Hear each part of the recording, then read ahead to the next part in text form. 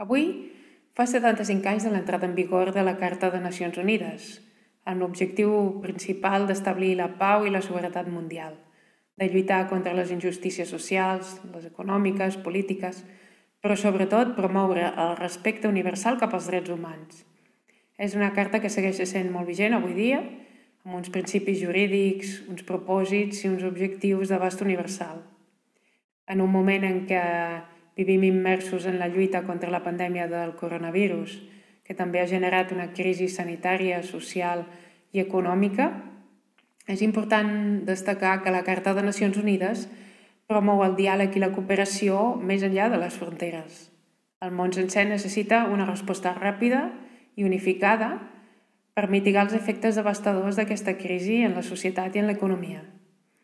I els municipis cada cop més hem de fer front a reptes més globals que afecten a la gestió, a la governança i també als serveis que oferim des del món local.